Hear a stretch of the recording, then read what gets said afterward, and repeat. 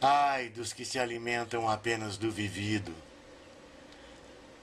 Ai dos olhos vencidos pela evidência do real.